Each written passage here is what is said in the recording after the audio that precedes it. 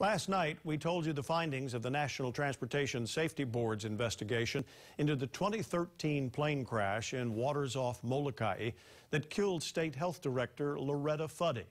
Today, the owner of the airline is disputing some of the findings.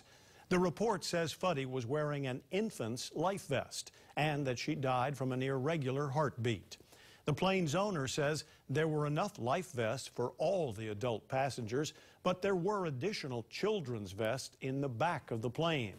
The report also says some passengers claim the pilot did not give a pre-flight safety briefing. If it didn't happen, then all these people did exactly as they were trained and instructed to do. So, you know, I'm not sure how you would want to interpret that. You believe that he gave the pre-flight? I believe he gave the, yes, sir. The report says the pilot ditched the Cessna off Kalaupapa after hearing a loud bang followed by a loss of engine power approximately two minutes into the flight.